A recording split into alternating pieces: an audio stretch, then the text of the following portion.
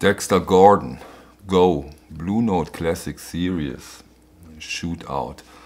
I wasn't that sure that I should do this video because it's only one release this time.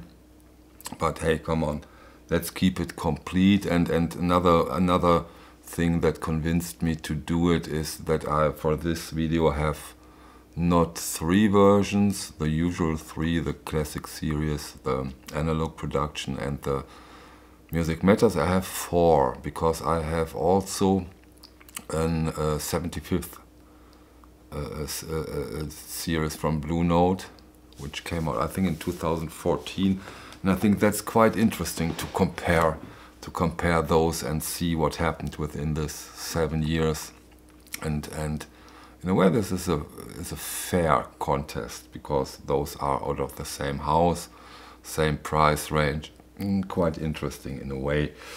So before I think next week on the 20th I think there will be a huge huge two. There will be the Kenny Burrell Midnight Blue and the Grant Green Idle Moments which of course is is quite something. Wow wow. Can't wait for those two two. But come on today we're talking about Mr. Dexter Gordon's Go. This is the um, classic series version of, of uh, uh, this album. And the original recording took place in 1962 with Dexter Gordon on the tenor sax, Sonny Clark on the piano, Butch Warren on bass, Bill Higgins on drums.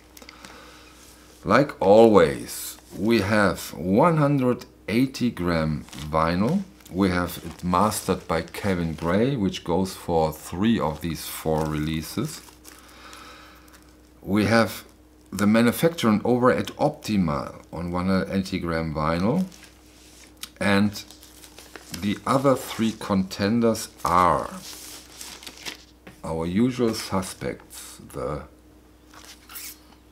Music Matters 33 and a third version, with the gorgeous jackets from Stoughton with the session photos. It's, it's always a pleasure.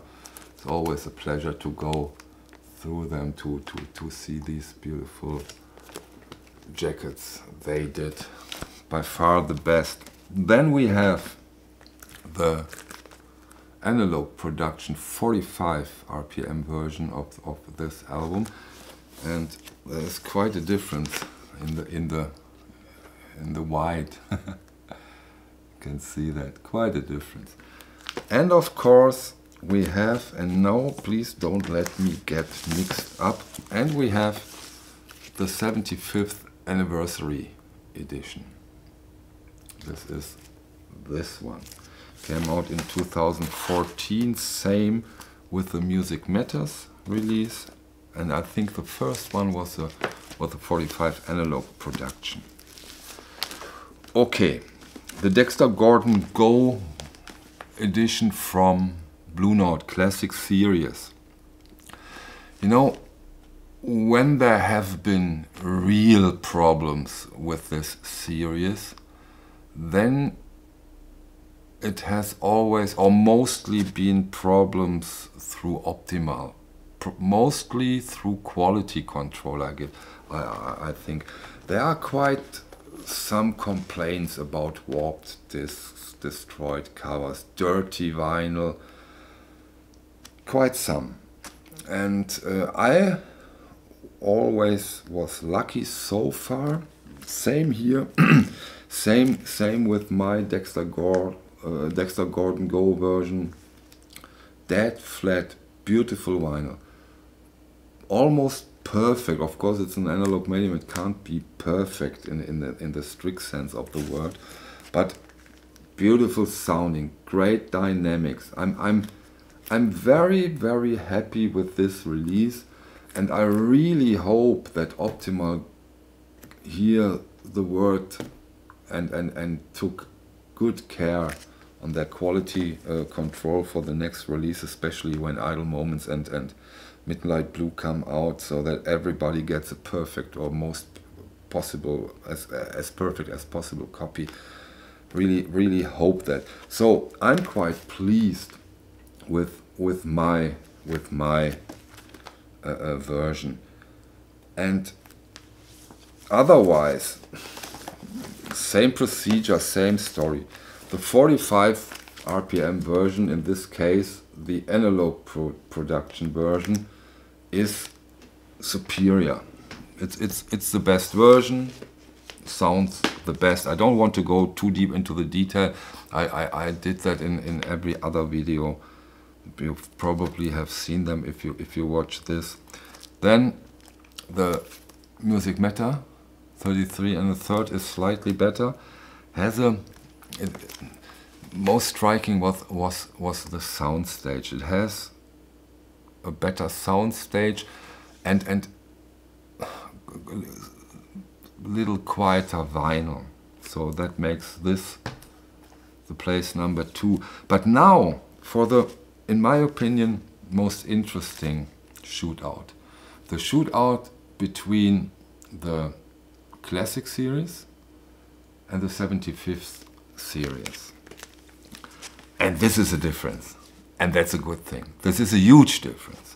The Classic series is so much better than the 75th, 75th series. And I love it, of course.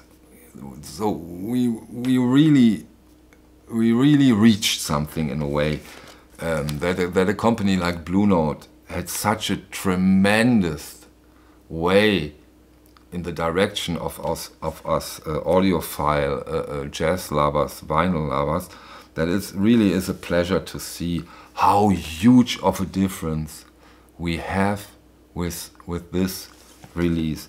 And and of course, in a way, I hope you you you agree with me. This is the most interesting shootout because the other two from analog production and, and music matters to, to compare them in a way is also a bit not unfair that's too much to say. But you know those two releases that the purpose of those releases has been to deliver the best sounding versions that are possible. You know with all the experience from these guys, with with with, and, and, and of course they are they are, they are more much more expensive from the beginning, from from to begin with, and so you probably have more room for better vinyl quality, for for uh, uh, uh, more care, uh, more more quality control. So, but here, those they are in, in, in when it comes to price, they are identical. I think there is not much or, or, or not no difference, and that's quite interesting. And and this is a huge step in the, in a great in a good direction when you compare those two, and that's that's a great thing. And another great thing is that I have the feeling that the quality control over at Optimal is taken much more serious than than than at the beginning when they when they started to press these series. Let's hope for the best.